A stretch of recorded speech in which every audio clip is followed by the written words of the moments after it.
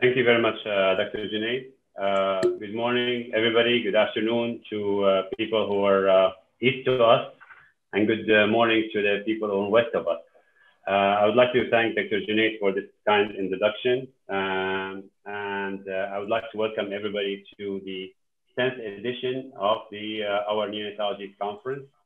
Also, I would like to thank MENA Conferences for uh, really great um, organization as usual in this 10th edition. Um, uh, we will have uh, a lot of uh, exciting um, topics uh, going to be um, discussed during this three years, three days of conference. And I would like to start with introducing the keynote speaker, uh, is well known to everybody, Professor Paolo Manzoni, uh, colleague and a friend. It's an honor to introduce him. Uh, we, he's uh, well known all over the world and he's, uh, uh, you know, give great presentations. Um, Dr. Manzoni is a professor of pediatrics at head department of maternal and neonatal infant medicine in Degli Infermi University. I hope I didn't mutilate the names that much. uh, that's in Biella, Italy. Uh, we came to know from his great uh, conferences in Turin, Italy, that we missed this year, but we uh, virtually were able to join. Uh, Dr. Manzoni is uh, specialized in pediatrics at the University of Torino School of Medicine, and he is on board of directors for Italian Society for Neonatology his primary research interests include pediatric neonatal infection disease, fungal infections, prevention, RSV-related diseases. He's an author of approximately 150 research articles published in peer-reviewed journals, uh, in Italian and international medical journals. And he's editor, associate editor of number of peer-reviewed leading international journals. Uh, Professor Manzoni will uh, illuminate us about uh, the topic of the hour, uh, something that we spend so much time this year discussing, and it's a really hot topic. And uh, we would like to welcome him and listen to uh, his knowledge and experience about neonatal COVID state of the art. Uh, please uh, join me welcome Dr. Manzoni. Dr. Manzoni, all yours. Thank you. Thank you very much. Thank you very much, uh, Ayman. Thank you very much, Junaid it's my utmost pleasure to be to be there although virtually. I've been attending and lecturing at the previous conferences in abu dhabi organized by the, the two prominent uh, uh, chairs and uh, it was always a pleasure to be there and to interact. This time uh, we'll have to go through virtual. I hope uh, we'll uh, be able to enjoy the education and not to miss too much the interaction but nonetheless, uh, we hope that next year uh, this situation will be over. And uh, of course, I'm sharing my slides here. Okay. Um, my task today is to give a, an overview about neonatal COVID, the state of the art, I will uh, try to summarize uh, all uh, areas that has been debated, have been debated in COVID-19 in the neonatal community. Uh, please uh, be aware that this information is uh, accurate and current, but since the situation is rapidly evolving, COVID-19 might change over the next weeks, and this information might be out of time and out of date already shortly. But as a matter of fact, today we'll try to uh, make the point on what we know uh, as of today. And the first point to clarify is to start from the pregnant mothers and to understand which is the actual prevalence the actual incidence rate of COVID-19 in pregnant mothers delivering. We get a great help from this New England Journal of Medicine paper in April in New York. All pregnant mothers uh, showing up for delivery in a large academic setting were tested And out of 20, out of 215 pregnant women, uh, some 15% of them were COVID positive. But please note, only 1.9% of those uh, mothers were actually symptomatic. Therefore, the risk is uh, to underestimate the actual COVID-19 positivity in women delivering. This may be extremely impactful on our strategies and policies. Therefore, I need always to caution our obstetricians and more generally all our fellow colleagues neonatologists to make sure that a widespread and routinary test for COVID-19 be done in all pregnant mothers showing up for delivery. This is true also keeping in mind that uh, during pregnancy and uh, during the perinatal period, luckily, so far, COVID-19 looks not being more aggressive than it is described in other categories of patients. This is a very brand new paper from Figueiro Filho. It will be published in Journal of Perinatal Medicine short, shortly, and it's a systematic review of all studies reporting on COVID-19 during pregnancy and assessing the perinatal outcomes. It's including 11,000 cases from 15 countries up to the end of July. And as a matter of fact, the overall results show that maternal characteristics, clinical symptoms, maternal and neonatal outcomes are actually not worse or not different from those occurring in the general population. So In mind, we can assume that the course and the onset of this infection should not be different or more dramatic during pregnancy, and therefore we can have a management of pregnant mothers that does not require extreme decisions or very aggressive decisions. With this background information, let's try to uh, give an answer to the two main issues, to two main pending questions about COVID-19 and pregnancy. The first one is can COVID-19 be passed from a pregnant woman to the fetus or to the newborn? The answer, unfortunately, is not conclusive. So far, we don't, do not know at this time if COVID-19 can actually be passed from mother to newborn via vertical transmission. We still don't know because many aspects are not sufficiently elucidated or investigated. Let's keep in mind that in order to have a demonstration of vertical transmission, we need to have a positive test from the mother, we need to have a positive test from the placenta or from the amniotic fluid, we need to have a positive test in the newborn, and finally, we need also to have a feature of disease attributable to COVID-19 in the newborn. Also, we don't know at this time if COVID-19 acquired during pregnancy can be harmful for the baby. So the baby and the fetus are probably not hurt, at least as of we know uh, today, by the inf infection acquired by the mother during pregnancy. However, these the outcomes of uh, offsprings from COVID-19 infected mothers are still not accurately clear in order to rule out ultimately that this uh, situation may occur. Let's try to tackle uh, a little more the point of vertical transmission versus acquired.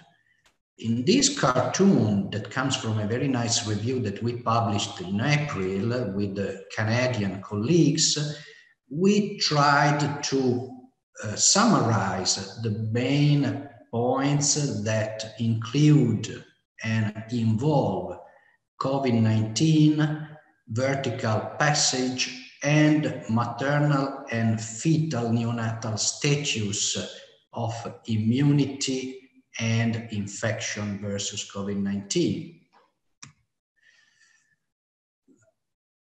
The point of vertical transmission, as I was already alluding, requires detection of COVID-19 in amniotic fluid, in cord blood, and in placentas. With these findings, the theoretical risk of intrauterine infection is uh, biologically plausible. However, so far, only very few, I would dare to say one study has comprehensively included all this information when assessing a possible transmission from mother to fetus via vertical transmission. Just to sum up, to place a diagnosis of vertical transmission, we require to have detection of the virus in amniotic fluid and placenta from the maternal side. But from the neonatal side, we need to have a virus demonstrated in cord blood, in respiratory secretions. And finally, just as I was saying, we need to have a neonatal disease attributable to COVID 19. And so far, it's very difficult to show or to support the view that a neonatal COVID 19 specific disease is described in neonates. We have concluded and published a very comprehensive review this is a paper from the Italian group of neonatal infections from the Neonatal Society of Neonatology of Italy.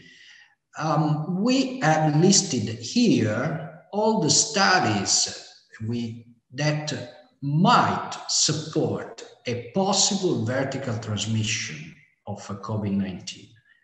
However, please note in the fifth column that positive cord blood samples either were not taken or gave, in one case, a negative result.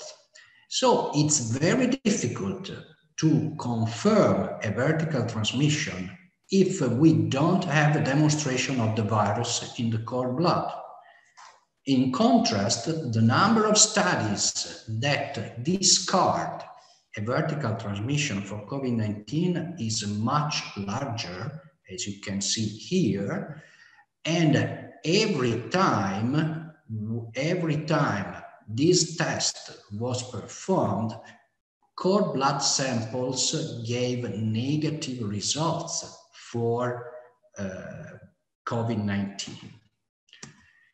However, we do have an actual case of confirmed COVID-19 transmission, vertical transmission. This has been published in Nature by the group of Daniel De Luca in Paris, France. This is the case, a mother delivering a, a late premature infant with pathological fetal heart tracing. Uh, APGAR score was not well, but uh, requiring only ventilator support for six hours. However, on day third, the neurological symptoms uh, had their onset with an MRI showing a pathological series of findings, despite the CSF was repeatedly negative. No cultures turned out to be positive for any pathogens but for COVID-19. The baby, however, recovered slowly with no treatment. At uh, two months of follow-up, the baby is still well and improving. What characterize, um, sorry, What is unique from this report is the series of samples that have been taken and that consistently and comprehensively confirm the vertical transmission. Take a look at this uh, picture. From the maternal side, we have positivity in the nasopharyngeal swab, in the vaginal swab, in the placenta, in the amniotic fluid, and in the blood. And at the neonatal side, we have a positivity in blood, in nasopharyngeal swabs performed at day of life 1, 3, and 18, and also positivity in rectal swab. So we may conclude, and I would dare to say, we cannot but concluding that this was actually a vertical transmission case. But once more, if you think to a vertical transmission, you need to stick to all this list of samples to be taken and tests to be performed. Otherwise, you cannot confirm a vertical transmission. Therefore, at the moment, obstetricians and gynecologists agree on the fact that vertical transmission of COVID 19 despite being occasional and rare, cannot be ruled out.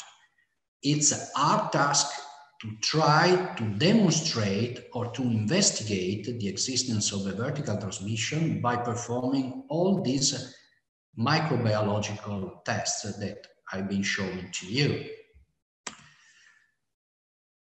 With this in mind, let's skip to the next point. Which are the specific characteristics, if any, of COVID-19 in neonates?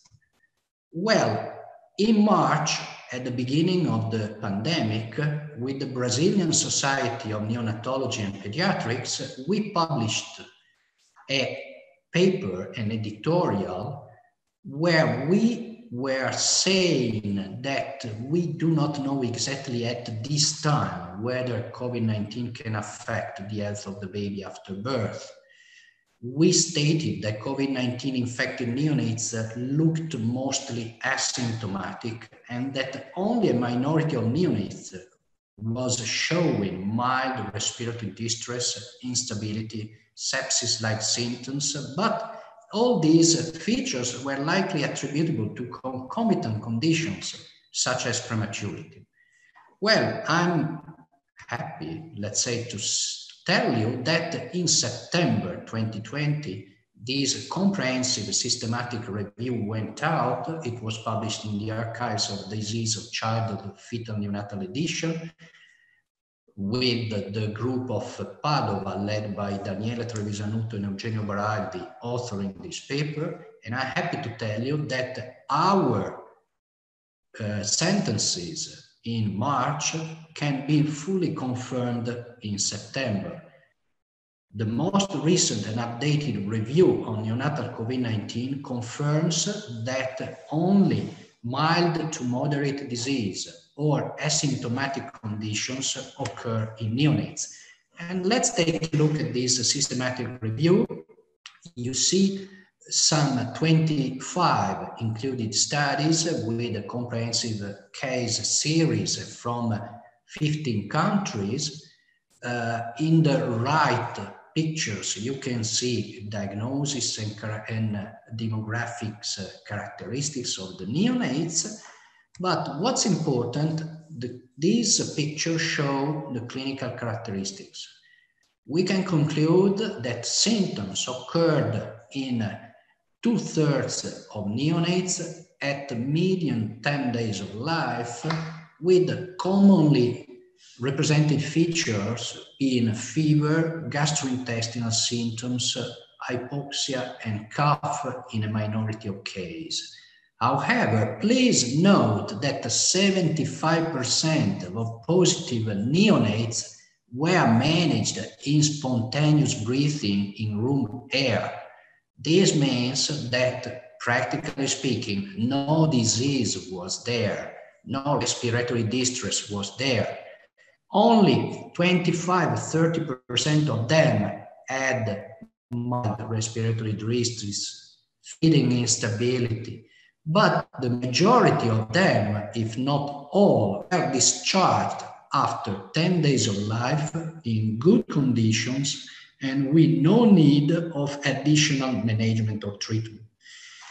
So with this in mind, we can conclude that uh, COVID-19 in neonates, uh, if is there, is actually mild or to uh, or to or at least moderate. However, we have a number of implications for practice that we need to take into account. Even though the disease is mild or not existing, implications for practice include in the nurseries a number of actions, starting from the approach in room, starting from the algorithm or test to perform and the management of the neonate. Uh, we include decisions, critical decision on cohorting, on breastfeeding, on skin-to-skin contact, on rooming in, on feeding regimens, how to organize discharge and follow up, and how to organize the step. So I will pick up some of these points in this last part of my talk. This is an editorial published in Frontiers of Pediatrics in April. And as you see, these uh, two tables displayed what could have been the impact of the pandemic on the neonatal community and neonatal practices, especially if you take a look at the right yellow table, potential family-centered care changes, and you go through what could have been recommended, it's dramatic. We could have been recommending no breastfeeding, no skin to skin contact, no parent involvement in infant care, uh, only one parent admitted, no visits for other caregivers, caregivers, difficulty in triage, in uh, physical and mental exhaustion. So, as a matter of fact, dramatic changes in the management of our needs, but now, after a few months from the beginning of the pandemic, we may reassure the neonatal community. Luckily, we had no such hard impact, and we were not forced to take most of such dramatic possible decisions. In fact, this is what we agreed on. This is the uh, strategies published in Padova in northern Italy with a number of actions that at the same time secure safety for the caregivers, the parents, and the neonates, but on the other side, maintain or reinforce all the family centered care uh, approaches that have been demonstrated extremely useful to have a smooth and positive course of the perinatal period. Starting from the living room, because we need to have a practical approach and we need to know which actions we have to implement, which tools and which precautions we have to take into account, uh, starting from suction, from uh, aerosolization and management of possible aerosolization moments, and continuing with the equipment used for resuscitation and ventilation. I uh, leave you and I want to address you to these two editorials and reviews that we wrote in a few months ago, where all these steps are fully explained and detailed. Only some modifications are described and are deemed as necessary. But once more, the message is that any strategy in such neonates needs to be tailored to the individual patient rather than to the disease. This is something that as neonatologists, currently make. This is an approach that we have always had and we feel like recommending this approach also in this situation. As for breastfeeding, I will tackle this issue in the next talk in uh, one hour, but keep in mind that after some exitant moment in the first weeks of the pandemic, the majority, if not all, neonatal and perinatal societies in the world agreed on the use of recommendations that including, included uh, recommendation of uh, breastfeeding, recommendation of skin-to-skin -skin contact, and implementation of preventive measures for mother neonate postnatal transmission. This is uh, extremely true, also keeping in mind that breastfeeding is the most powerful way to decrease the burden of respiratory viral infections in the first months of life. We showed clearly this issue with this uh, Italian Society of Neonatology article some years ago. Let's keep in mind that lactoferrin is uh, very important in preventing all respiratory disorders uh, attributable to viruses or other pathogens in the first year of life. And let's keep in mind that lactoferrin might act as a specific protective natural barrier against COVID-19. This is important to know because lactoferrin in vitro localizes to the cell membrane and targets and inhibits a glycoprotein called heparan sulfate proteoglycan, HSPG. This is a protein that is, acts as a cell entry protein critical for cell entry by all SARS pseudoviruses, including coronaviruses uh, COVID-19, because this protein carries the virus to the high affinity entry sites, such as the ACE2. Therefore, lactoferrin in vitro blocks the entry of the cell of the viral, uh, sorry, blocks the entry of the viral agent to the cell thanks to a pathway that is independent from ACE2.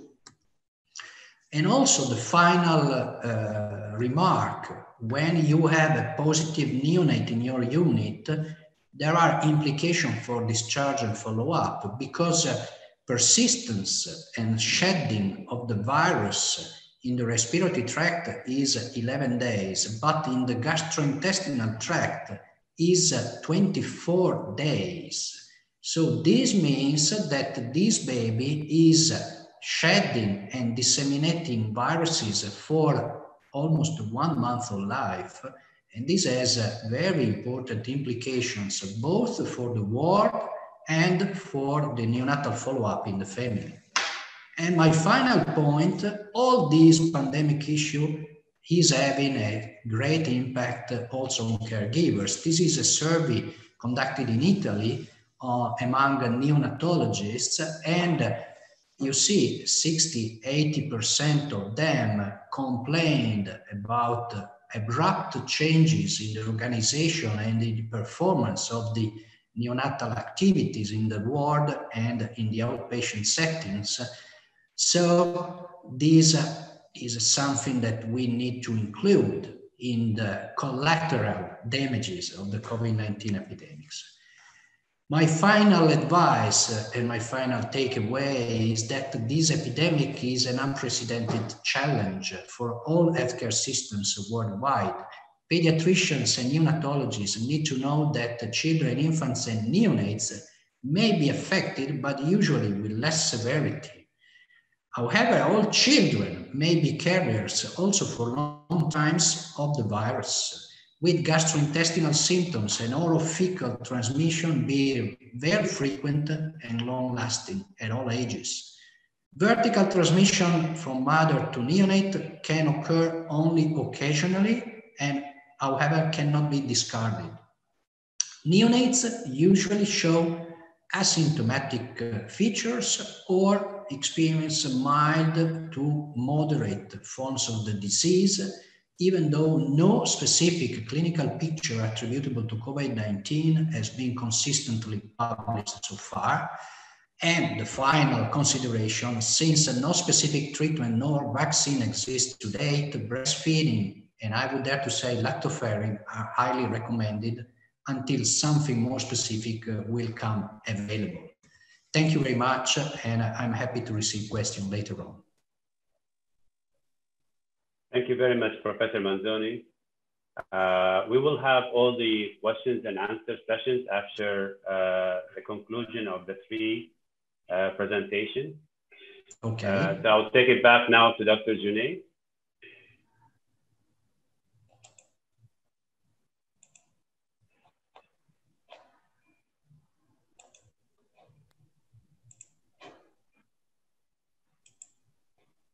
Or we can start the second session.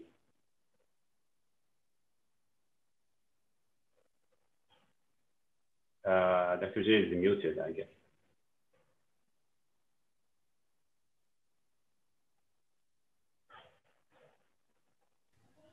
Okay. Uh, so uh, thank you, Dr. Paolo Manzoni and Dr. Ayman. So uh, the next uh, session, we will start now with the first lecture, uh, and it is by Dr. Ayman Rahmani himself. As usual, like last uh, few conferences, he's doing the what's new in the neonatology, and then we will make up, we will see how a few uh, very hot topics are going on. And then uh, during the course of the conference, we will discuss these in different uh, lectures. Dr. Ayman, all yours. Very good. Thank you. Thank you, uh, Dr. Junaid. Yeah, you can go ahead. I'm just trying to actually share my uh, screen with you guys. So just give me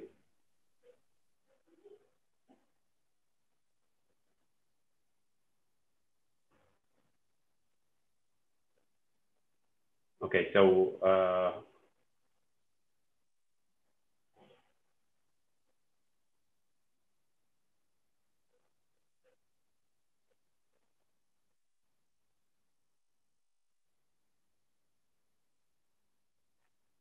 just bear with me a little bit. Just uh, okay, great. So uh, thank you, Dr. Junaid, again for the introduction. Um, as usual, uh, we uh, uh, started to do this a few years back, where we put together a presentation of all the presentations. So I look at the program and I um, look at the topic and I give you the, just a flavor of what we're going to be seeing in the next few days uh, through the conference. So the topics I chose for this year is are very practical and many of us um, uh, have these uh, practices in our NICUs and I'm just going to be uh, giving you a few uh, slides about each of the practices that we, we do usually in our daily uh, care for new, neonates. And uh, we examine the evidence uh, of these practices. So the first topic I'm going to talk about is antacid use in NICU. I know Professor Manzoni published uh, extensively about the use of antacids in the NICU. Uh, unfortunately, there's a lot of use uh, been uh, uh, observed in the neonatal um, practice. So we will examine if they're really helpful or harmful. Uh, the other uh, topic we really rarely touch base on is the postpartum depression. It's going to be a full lecture about postpartum depression by Dr. Lemia, and we are um, hopefully shedding some light about this very common uh, um, illness that we uh, don't deal with as, uh, as much as we should. Uh, the other uh, topic in which we practice regularly now in delivery room is delayed cord clamping. I'm going to give you a, a flavor of the, uh, uh, the international guideline and what's coming through the NRP 2020 in regard in this regard, and maybe uh, we will have some discussion about that. Uh, also, uh, common practice is that uh, we uh, worry about blood transfusion uh, in terms of association with necrotizing enterocolitis. So is there a true um, causation with the factor that cell transfusion, or just we were, don't have a clear clarity about this issue? Also, analgesia is a, a, a well uh, uh, used uh, pharmacological uh, agent used in an NICU. Uh, I'm going to just examine the role of morphine in premature infants. Is it uh, helpful or harmful? again, a lot of babies we evaluated for sepsis, and we use C-reactive protein in initial evaluation. So I'm going to talk about uh, if it's really useful to use CRP in the late onset uh, so starting with antacids used in NICU, is it helpful or harmful? Uh, there's a really strict uh, indication to use antacids in the uh, neonatal uh, age, which is uh, erosive esophagitis or GI ulcers. Other than that, there's really no established use for it, and there's a lot of studies that examine this role of antacids. Uh, pretty much all the studies agree that there is really no change in the gastroesophageal reflux symptoms in patients who receive antacid because the babies don't have an acid reflux. They have a reflux, but there's not really acid reflux. Uh, and there's really no effect on apnea, bradycardia, or desaturation when we use antacid. Also, there's no evidence that uh, gastroesophageal reflux uh, and the use of antacid within that context alter the incidence of bronchopulmonary dysplasia uh, later on. So uh, we know that there is a very limited role in uh, using antacid, but what's the harmful effect of antacid? Uh, there's a lot of studies also that shows uh, there's association between infections and the use of antacid. Especially we worry about necrotizing enterocolitis because we uh, um, elevate the pH of the stomach, which is the first uh, defense mechanism against germs that the baby swallows. So we know that, uh, in, and this is really uh, a lot of publications by Dr. Manzoni about the association with sepsis and the use of antacids. Uh, bone fracture because we used uh, we changed alter the uh, acid base balance um, by giving uh, the H2 blocker or or proton pump inhibitors and there's increased risk of allergy in childhood. So what do we do to really reduce the use of uh, antacids in the uh, NICU? This is a, uh, a, uh, a, work, a quality work that's uh, done at uh, Brigham and Women Children at, in Boston, and they evaluate an area between September 2018 and 2019, and they look at this from the multidisciplinary team approach. So uh, we know that the indications for using uh, antacid is very small and only about 20% of the total use of the prescribed medication. so what do we do to decrease the unsubscribed or not un, you know, authorized use for antacid? Is we form a multidisciplinary team. Uh, we write guidelines and we uh, inform all the team about the guidelines and then we implement the guidelines and we do staff education. When we do this, uh, actually when it's done this uh, project in, uh, in Brigham Women Children in uh, Boston, uh, they actually reduce the unindicated use for uh, antacid to almost zero.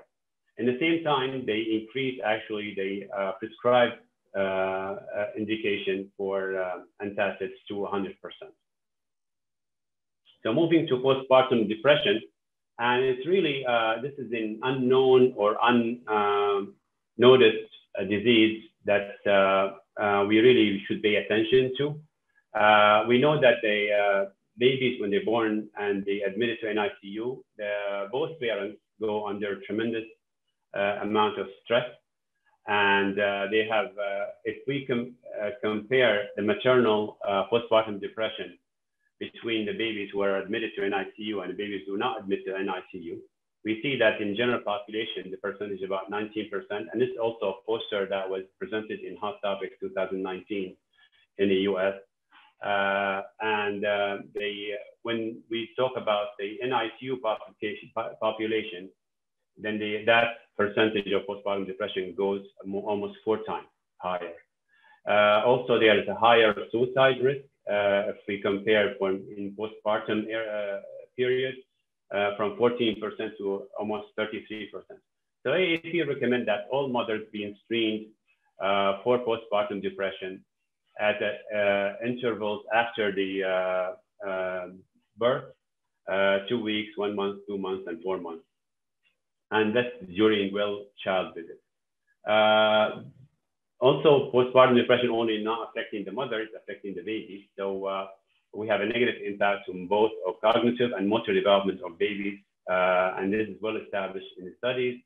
Uh, and also increased exposure to stress uh, in ICU for the babies uh, affect overall brain development of the unfunctional ability to the baby. In addition to that, the, the baby uh, bonding to the mother is decreased when the mother has postpartum depression, which leads to less uh, response to the uh, uh feeding cues that affect the, uh, the breastfeeding.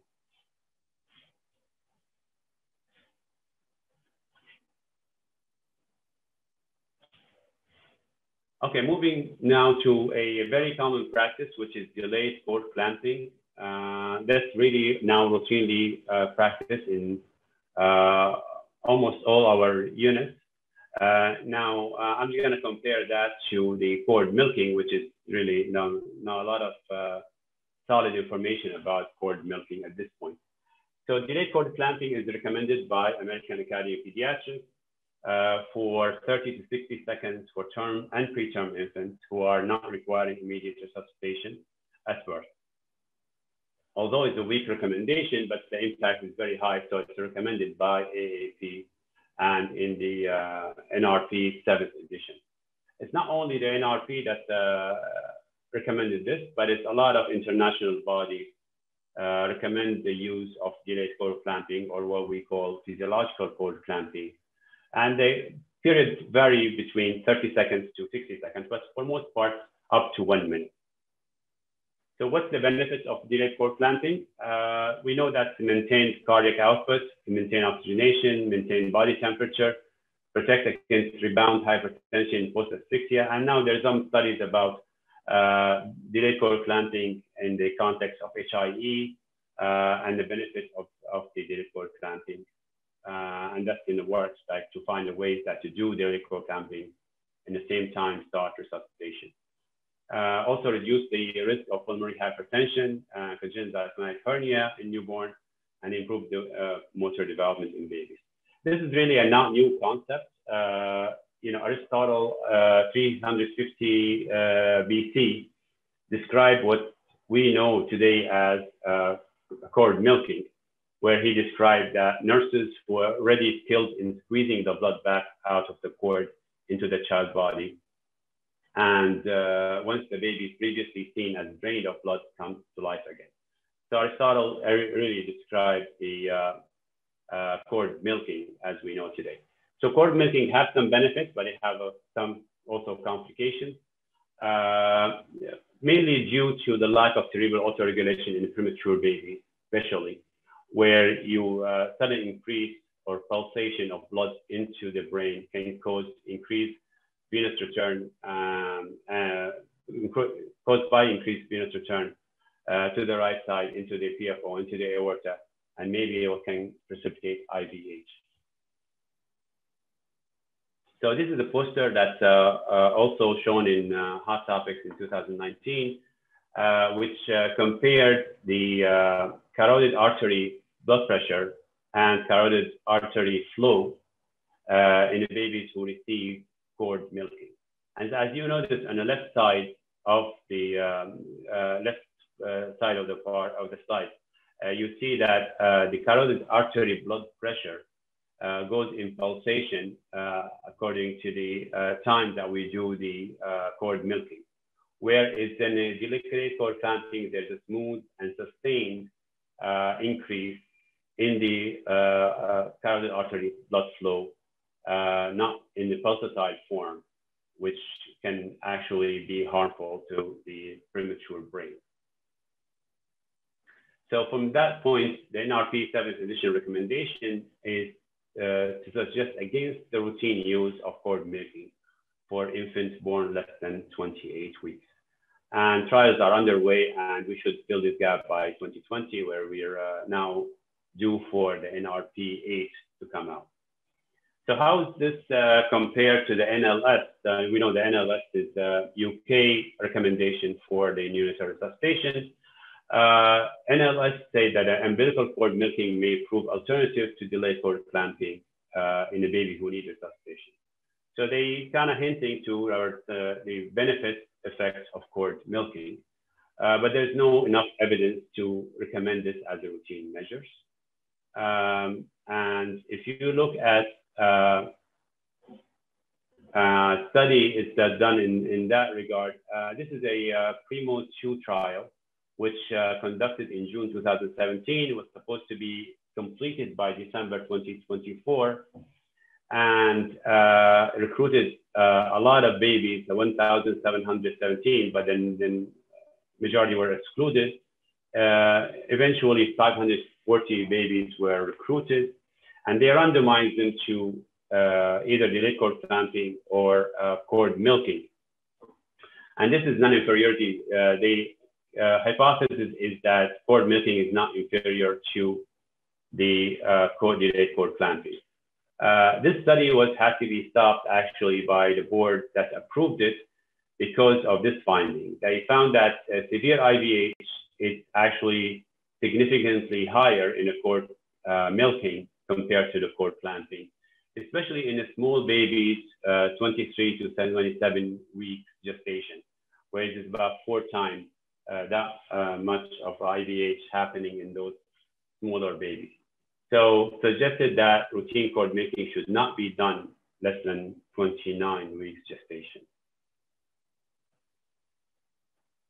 Moving to the uh, packed RBCs and NEC association, uh, we know from this older study in 2012, uh, meta-analysis was done and showed uh, increase in the transfusion-associated NEC um, in those uh, when they compare these four studies. Uh, just an update uh, on a newer studies which was published in 2018 um, in Journal of Perinatal Medicine uh, and included a lot more studies that happened since that time, uh, which showed really no difference between the, uh, the incidence of NEC among the babies who transfuse or not transfuse. Uh, so our understanding of the uh, association between transfusion and NEC maybe is related to the anemia that's associated with uh, NEC and uh, because of the effects on the tight junction disruption, which uh, increase the uh, passage of the pathogens from the mucosal surface into the domina, and then uh, it affects uh, the uh, you know, causing infection. So maybe the association is because of the anemia, not because of blood, blood transfusion. So in conclusion of that recent meta-analysis, uh, the, uh, there's really no association between the uh, RBC transfusion and NEC. maybe severity of anemia that caused the NEC and interaction maybe because of the components of the red cells, not the transfusion itself. Moving along to procedural pain, uh, we use a lot of uh, um, analgesia for our painful uh, procedures in NICU. Um, and um, sometimes we use morphine as a way to, uh, to uh, reduce the pain. Uh, and we know that babies response to pain when they're premature is different than when you're full term. So full term will give you facial expression, heart rate changes, or oxygen saturation changes. Uh, and if premature babies, because of prematurity of their brains, really there's not a lot of signs. to give you indication of pain. So this uh, study was published in Lancet in 2018, compared the uh, um, morphine to uh, placebo in um, uh, the reactivity to pain uh, stimuli. So they look at the brain activity, they look at the reflex activity, and they found really there's no difference in the brain EEG uh, or EMG uh, for the babies who receive placebo and versus morphine. So we know there's really no difference in reaction to pain uh, if you give morphine or if you give placebo.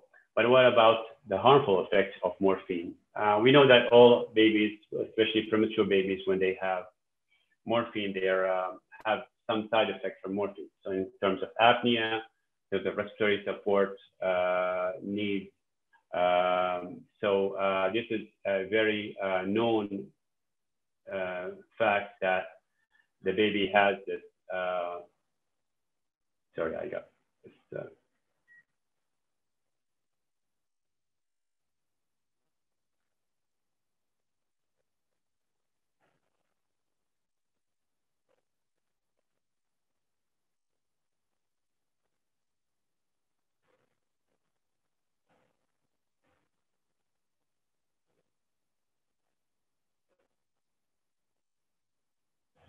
So the conclusion of this study is that administration of oral morphine for non-ventilated babies, uh, they uh, have no uh, evidence of efficacy, but they have a harmful effect. So we should really not use oral morphine for uh, uh, analgesia uh, for painful procedures. Last topic I want to touch base on is very practical for our NICUs where we use C-reactive protein um, as uh, to guide our decision to initial evaluation for sepsis in the late onset sepsis in a preterm infant. So this is a uh, published only in February 2020, uh, which is uh, looked at the uh, C-reactive protein. And they found actually the very low sensitivity of the uh, C-reactive protein is 0.62 uh, sensitivity. Uh, that's 40% is really not sensitive and 60% uh, only sensitivity. Finding that the CRP should not be used as a uh, determining factor for late onset sepsis uh, if we want to start antibiotics or not starting antibiotics. So uh, we should not be depending on it, even though we can um, look into the usefulness of C-reactive protein to guide our uh, evaluation of maybe subsequent days into in terms of how uh, uh, effective is our antibiotics treatment. So in summary, uh, answering the questions that were raised in the beginning, uh, antacids in an ICU, are they helpful or harmful? The answer is no benefit in most of the indications that they are used for with really proven harmful effects. So we really should limit the use of antacid in our NICU. Postpartum depression, are we paying attention? Do we, we need more focus about recognition and management? Maybe we should give questionnaire to the mothers when they come visit us uh, in two weeks, one month or more if the baby stay with us to uh, try to refer the mothers to appropriate services uh, for treatment of postpartum depression. Uh, delayed cord clamping versus cord milking. Uh, delayed cord clamping is beneficial. Cord milking can be harmful. So stay tuned for N2020 NRP and then LS position. Uh, hopefully it will come soon. And in anemia transfusion, uh, is it confusion or causation? Uh, factor RBC transfusion alone does not really cause an NEC. Uh, oral morphine for non-ventilated babies does not prove uh, to have provide anesthesia and will have harmful effects. And a CRP initial evaluation uh, for late onset sepsis does not help in aiding decision in who, to, how, in who to treat. I hope that will give you a flavor of the coming days, and uh, I'll be happy to answer questions if anybody have any questions. Thank you.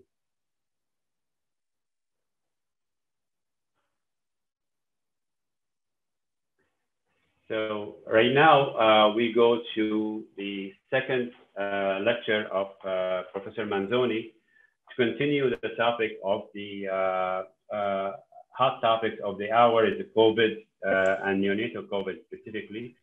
So what we are going to be discussing with Dr. Manzoni is going to touch base on very important topic, which is how to deal with the babies who have mother have COVID, skin to skin contact and risk for COVID and the breastfeeding. Uh, Professor Manzoni.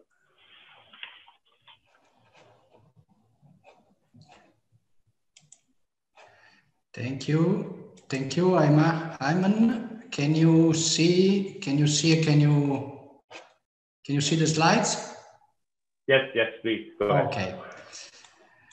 Thank you. It's my second lecture, and now in this uh, short talk, I will uh, uh, show you once more uh, which is the evidence on breastfeeding and which uh, could be the precautions for skin-to-skin -skin contact uh, related to COVID-19.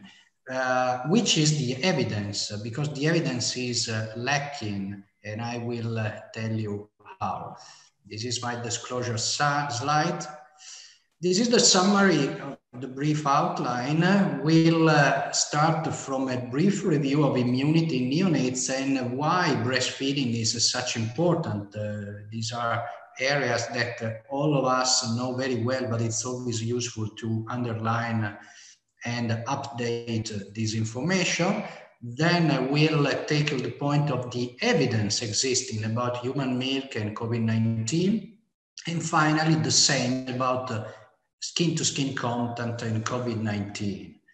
First of all, we need to remind that the first months of life are the most critical ones in, in the life of a neonate and an infant because the only protection from infectious disorders derives from maternal or externally provided antibodies. And maternal antibodies can be provided through a term delivery thanks to the transplacental passage but mostly can be provided by breastfeeding. Duration of protection of inherited maternal antibodies can be precisely calculated and is 17 weeks. The more antibodies you receive, the higher you can be protected as a neonate. And in turn, infants who get infected, as an example by RSV, have received less maternal antibodies. Therefore, maternal vaccination in pregnancy might be a good option for some preventable diseases uh, that might be very severe in the first weeks of life, such as influenza, pertussis, or RSV, RSV itself. And breastfeeding, therefore, is the current only possible solution to enable infants to receive robust intakes of antibodies and enable them to get defended. Keep in mind, and this was already shown in my previous talk, that uh, hospitalization from bronchiolitis is strictly dependent on the breastfeeding with an inverse correlation. Uh, please note that uh, babies breastfed can be protected by RSV, by severe RSV, also in the second semester of life, even though breastfeeding was stopped at six months.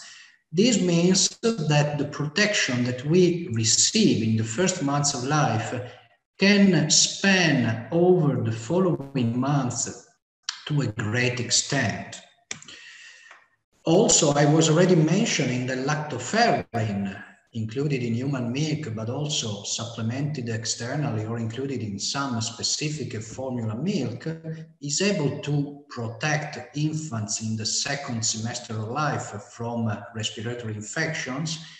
And with regard to COVID-19, this is even more interesting, and I will show you later on why. So, which is the evidence about human milk and COVID 19? We know that COVID 19 uh, is questioned to be potentially passed from a lactating mother, to the infant through maternal milk. But the current answer is likely no.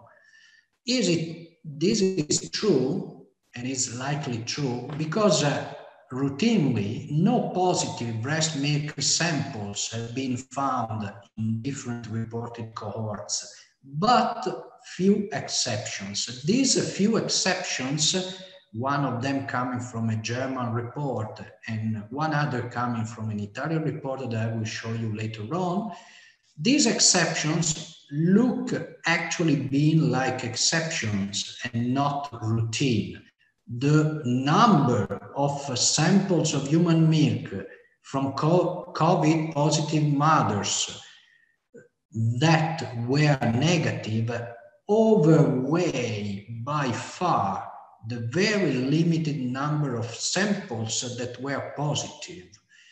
Therefore, in line with what above, we need to assume that the risk of a passage of COVID-19 through milk to the infant, thus determining COVID disease in the neonatal period, is very, very limited, if not actually existing. I was telling you about this very interesting study. This is in PRESS in Frontier of Pediatrics and is a prospective multi-center observational study conducted in my town in Torino with the samples of human milk collected from 14 breastfeeding mothers who were positive for COVID-19. Search of viral RNA in human milk was performed by PCR all neonates underwent clinical follow-up during the first month of life or until the occurrence of two sequential negative swabs. The results are extremely interesting.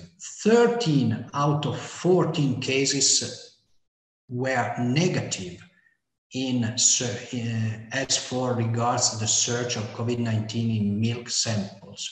Only in one case, the search was positive. All infants had a clinical outcome that was uneventful. All of them were breastfed but one and closely monitored in the first months of life. Four newborns, despite having uh, no COVID 19 in the milk, tested positive for COVID-19 and this occurred in the first 48 hours of life, likely not attributable to human milk because it was negative. Therefore, we need to assume that the transmission of COVID-19 from this positive mother occurred horizontally through contact rather than through human milk. Uh, please note also that the clinical course of these four infants who became positive was uneventful and all of them became negative within six weeks of life. Also, the baby who received positive human milk had a uneventful course. Therefore, even though this case is limited, it's only 14 maternal infant dyads, I think that this is strongly supporting the view that COVID-19 positive mothers can breastfeed because they do not expose their newborns to an additional risk of infection by breastfeeding. In line with this, we have another report published in the Journal of Human Lactation, vouching conversely for a usefulness of breastfeeding in COVID-19 mothers and possibly COVID-19 infected babies. And this is because when we try to determine the uh, um, the existence of anti-COVID-19 IgA in the human milk samples, we have very interesting results because IgA specific for COVID-19 are actually there in human milk. and could be, just like in this case that it's described here, a potent tool to contrast COVID-19 acquisition through human milk. So the two of these uh, studies not only show that breastfeeding is generally safe, but also show that breastfeeding could, should be recommended because provides measurable antibodies against COVID-19. In addition, I was mentioning lactoferrin already in my previous talk, and I want to briefly take again this point because lactoferrin in vitro, as I was telling you earlier on, can target and inhibit a proteoglycan heparan sulfate proteoglycan HSPG that is critical for cell entry by the virus. This proteoglycan links to the virus and carries the virus to the high affinity receptor, that is the very famous ACE2, that is uh, critical for cell entry. Therefore, we need to assume that lactoferrin in human milk or externally provided might actually interfere with the contact and cell entry of coronaviruses in the cells by blocking one of the receptors of this virus. And this is extremely important. And as a matter of fact, a clinical trial in Italy has already initiated, has already begun in Rome, and we are very much looking forward to the results of this study. Thanks to this uh, background evidence, all societies but the Chinese one ultimately agreed on the opportunity to recommend breastfeeding and not to separate unless specific limited situations the mother from the infant even though the mother is positive as you see here this is a document that we updated one month ago usa european union including italy and france and uk brazil and many other societies all of them agreed on this point only a situation is excluded. When a mother has symptoms of severe COVID-19 infection and it's too sick to care for the newborn, then separation neonate mother is recommended and use of express milk with no pasteurization is recommended. Please note, also in this case, it's not recommended to use formula milk. It is recommended to use expressed milk because in this way we limit the contact because the point is to limit the contact, not to avoid virtual transmission through the milk that is uh, probably not existing. Let's go to skin-to-skin contact. Uh, we published with uh, Professor Davanzo and Merwood an editorial in the American Journal of Perinatology last month, summarizing the existing evidence and the existing opinions. Skin-to-skin contact after birth provides documented benefits on several areas, including breastfeeding enhancement, increased duration of breastfeeding, neonatal physiological well-being, and, uh, and onset of a positive and good microbiome in the neonate. Since the evidence uh, and the biological plausibility of a transmission through skin-to-skin -skin contact is lacking, at the moment, uh, we have no tools and no evidence to recommend or to discard something regarding skin to skin contact.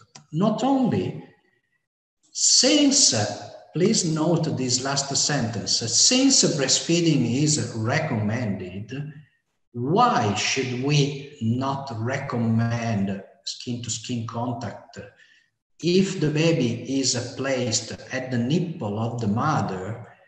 Uh, which is the difference compared with placing the baby on the skin of the mother? So no data support an increased risk of COVID-19 through skin contagion occurring during skin to skin. So at the moment, we feel like uh, reinforcing and strengthening the recommendation of the WHO that skin to skin contact be practiced, including also in offspring from positive COVID 19 mothers.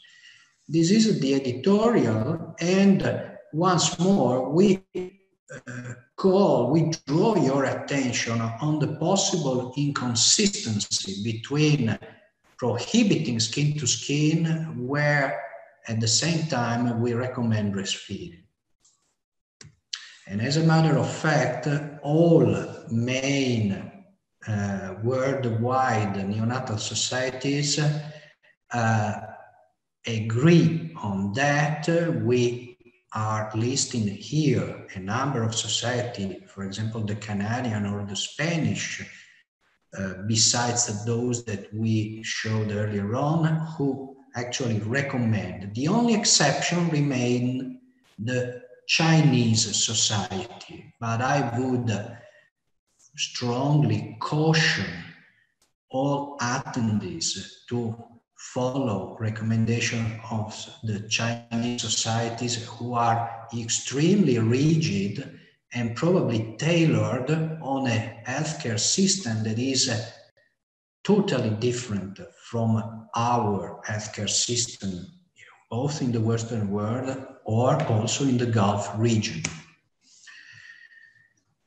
This is another and the final uh, example of uh, safe perinatal management of neonates born to COVID-19 positive mothers uh, in Italy, including breastfeeding and skin-to-skin contact practices. This is a series of a very numerous bunch of neonates and mothers who were born in Piacenza. Piacenza was and still is one of the epicenter of the COVID pandemic in Italy. Some uh, hundreds of pregnant women were tested and followed up, and all newborns coming from positive mothers were tested, followed up, but at the same time allowed to have immediate bonding, permanent rooming in, and direct breastfeeding this practice was safe. And after a few months from this practice that occurred in March and April, we can safely say that no negative outcomes were related to immediate bonding and skin to skin contact, nor to rooming in or breastfeeding. With this in mind, my take-home messages for this uh, brief overview is that COVID-19 once more looks not associated with clinical outcomes that can be worse in pregnancy or in the perinatal period compared to other ages or other patients. Some uncertainties remain pending, for example, about the possible higher rates of prematurity or intrauterine growth restriction, but this uh, does not affect the uh, core of the recommendations coming from this lecture, that is breastfeeding, skin to skin contact and bonding after birth appear to be safe and even protective for the neonate once appropriate preventative measures to decrease the risk of horizontal acquisition are adopted. Thank you very much once more for your attention. Thank you, Professor Manzoni, uh, uh, for a really great presentation and very informative. Uh, we will be open now for questions. Um, I'm not sure how we're going to be receiving the questions. I hope I will get some guidance. Uh, but I'm sure Dr. Junaid will have the first question. So uh, go ahead, Dr. Junaid.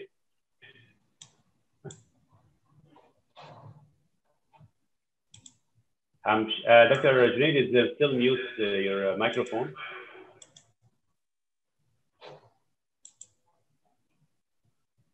Okay, by time Dr. Junaid prepare his question, maybe I'll ask you, Dr. Manzoni, first question. Uh, now, you, you, as you mentioned, most of the uh, mothers are, even if they are COVID positive, they're asymptomatic. So uh, what should we do when we have to separate the baby and admit to an ICU for those babies? Uh, should we uh, isolate them and test them until they are negative and then we mix them with other babies? Or should we testing the mother and wait until she's negative and then we test the babies. What should we do? Yeah. So uh, uh, thanks for the question, Ayman. The the point is to first understand and assess uh, which is the clinical picture of the mother. If uh, the, the, the best possible solution is to keep the baby with the mother in rooming in in a separate room, in an isolated room where the two of them stay together and uh, share their virus if, if this needs to happen, but do not share this virus with others. The only situation in which this uh, possibility needs to be discarded is uh, when the mother is uh, severely affected by, by COVID 19, with, as an example, a, a severe pneumonia, fever, high fever, so in this case, the mother is kept separated and the baby is isolated in an isolation room in the NICU with staff, dedicated staff, and with uh, pathways that are uh, specific for the baby till the mother recovers and or till the tests are negative. This is what we do and and I think that this is uh, based on common good sense plus evidence based medicine.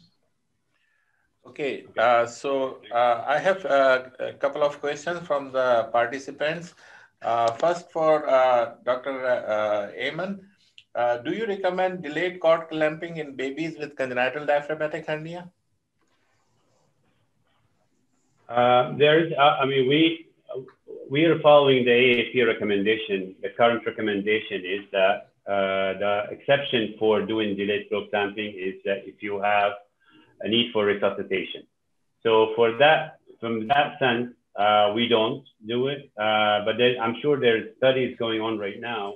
So looking at, for example, like you know, intubating the babies uh, at the mother's side uh, without uh, cutting the cord to give the benefit of the baby from the rebound pulmonary hypertension. Uh, but uh, uh we, our practice is no, we don't do it at this time because AAP recommends only delayed cord clamping for babies do not need resuscitation. Uh, for uh, Professor Manzoni, uh, there's a couple of questions about the discharge planning. That if the baby is shedding the virus for one month, so how we can tackle with that? So Professor Manzoni, can you elaborate it? And there are three, four questions uh, with the same uh, uh, same uh, concept. That uh, yeah. yeah, I know this is an issue, and we need to track the COVID-19 status over the weeks. As a matter of fact, in Italy, we perform swabs to the neonate at birth, at three days of life, at one week, at 14 days, and at one month of life, his tests remain positive. But if we have two consecutive negative tests, that's all. We uh, consider this baby as cleared from uh, positivity. Obviously, uh, our approach is that if the baby is asymptomatic or stay and or stable is if he's doing well and if the mother is doing well we do not keep the baby in the unit as a, uh, an admission waiting for negativity of the swab. We discard, discharge the baby, we send him home with the mother, and uh, the tests will be performed by uh, outpatient services that are connected with us over the following weeks. Okay, uh, there's uh, two more questions for uh, you and then two more questions for Dr. Ayman. The first question, uh, Dr. Uh, Manzoni, that what is the minimum precaution you recommend? Although you said in your in your second talk for the breastfeeding, if the mother is not symptomatic, okay, and is, but is the COVID positive. This is the first, and the second one that if uh, many times we don't know the status of the mother. So baby born to the, that mother, uh, we have to do the COVID uh, test for all of them or uh, be specific. So these two questions for you, Dr. Yeah. Uh, the first one, breastfeeding, COVID-19 positive mother, she can breastfeed, breastfeed. She is uh, recommended to breastfeed, but she needs first to clean her nipple uh, frequently. And second, I advise, I suggest to use a mask, a surgical mask, to decrease aerosolization passage from the mother to the neonate, even though this is a, a, a little hard for mothers not to kiss their baby, but until positivity is there, this is something that can be recommendable and understandable. And um, the second was, sorry, if I, can you remind me the second question? The, the second question is, uh, is, is about the, uh, how you will uh, consider that uh, all the babies who deliver with the mother, which we don't know ah, okay. COVID status. Yes. So how yes. you uh, decide which baby you have to do it? Yeah, no, we, we start from the mothers so now it is uh, compulsory and it's uh, routinely done that mothers delivering undergo a COVID test. So in few hours, usually during labor, we know the COVID status of the mother. So we know very well already at birth how to manage the baby. If uh, we still don't know the result of the maternal test, we behave looking at the clinical picture rather than at positivity or negativity. If the mother is doing well, does not report significant uh, close contact with positive uh, patients and has no symptoms, we consider her negative until we do not receive a positive test. Okay, uh, uh Dr. Ayman, there is a question uh, from the participant that what is the best time to do the CRP and follow up CRP in a suspected uh, neonatal sepsis? So uh, this study uh, looked at the value of CRP is an initial evaluation of late onset sepsis. So there's still value of using CRP for the early onset sepsis. And uh, Professor Manzoni and I, in the last conference we got together in uh, Sharjah, there was a heated debate about the CRP value. Is it above 10, we consider it abnormal? Is it uh, higher than this? Is it above three? So uh, this study is basically looked at the late onset sepsis. So late onset sepsis, what they say is that do not use the CRP value as an indication to start antibiotics. So if, uh, you know, for example, if it's, uh, if its sensitivity is only 60%, and you taking the CRP value as an indication to start or not to start, no, you have to start based on a clinical ground, not based on a CRP value. Uh, the other question, uh, Ayman, for you uh, from the participant that for the late onset sepsis, how you see uh, the utilization or to doing the procalcitonin instead of a CRP. Do you have any uh, comment on that? Yeah, if, if you have it available to your hospital, it's very good. Uh, it's really, there's no established uh, cutoff for the babies in the first few days of life. But beyond that, uh, there's a value for procalcitonin if you have it. And uh, if it's available to you, it's uh, more sensitive than ethiopia. Okay. Now, the, the last thing is that because uh, you showed that study, uh, PREMOD uh, trial too. Uh, so one of the participants said that there is a one study which uh, also published recently, uh, but we, I, I don't have the reference. And he said that he or she said that um, they recommend still the cord milking. So what, what, what is your practice in your unit? Okay, so we don't do cord milking uh, at any gestational age because there's not enough evidence to support the routine use as per NRP. NLS uh, showed that uh, there is a maybe some benefit to using uh, cord milking if in cases that need resuscitation. But either the NRP or the NLS, both of them saying that it really should not be the used under you can take about 29 weeks or 27 weeks to be more careful uh, because of the risk of IVH. I think the risk of IVH is real for a small baby because it's a pulsatile flow when you do the cord milking. So if you want to use it for a, a full-term baby, uh, it's not recommended uh, routinely because not enough evidence.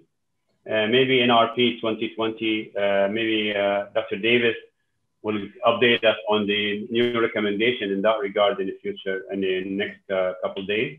But there's no enough recommendation from the NRP. Okay. So the last question uh, for uh, Professor Manzoni again, uh, is there any cross reaction or the protection if we get the flu vaccine from the COVID?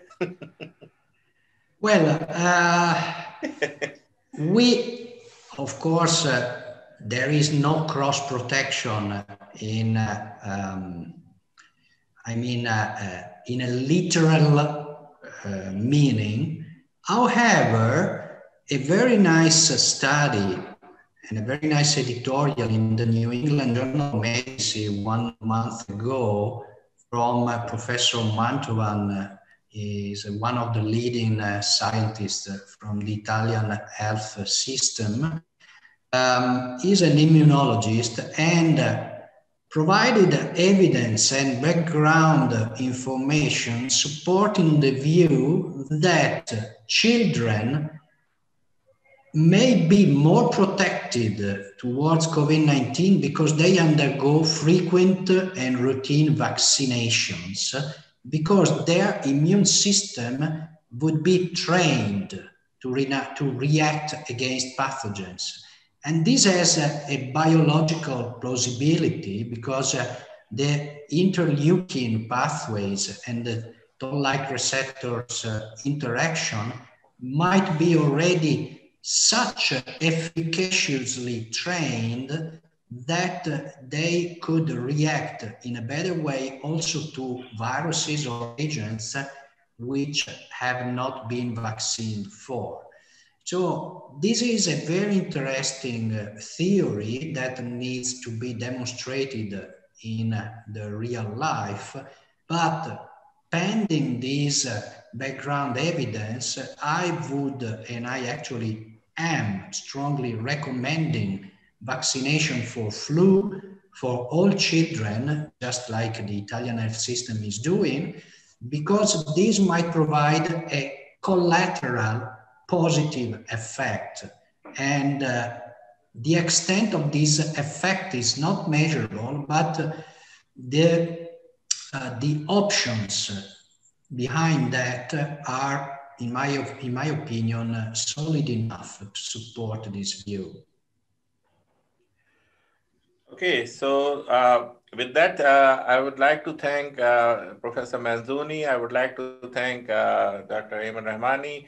Uh, we will conclude this first session, uh, very informative, very latest thing, and hopefully you will join, both of you join in other sessions.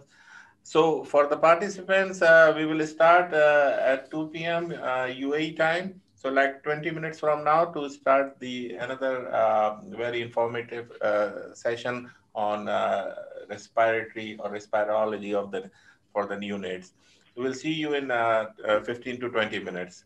Thank you again, Ayman, and thank you, Manzoni. Thank you. Great talk. Thank Thanks you. Nice, nice to Thank see you. you. Best regards uh, to all of you. Thanks a Bye. lot. Thank you. Bye.